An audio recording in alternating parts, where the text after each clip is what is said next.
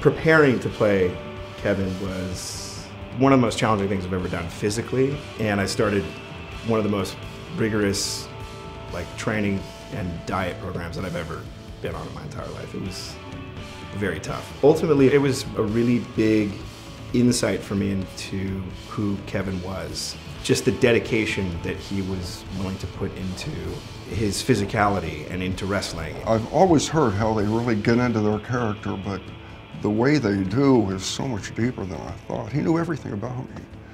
And it would take a guy with talent to, to play me. If anyone can do it, it's him.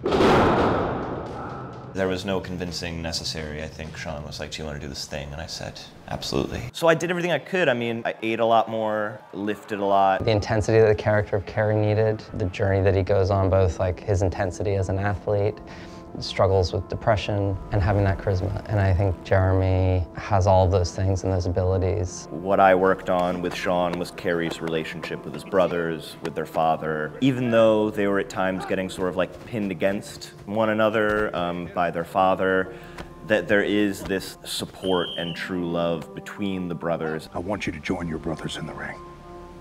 Yes, sir. I love that.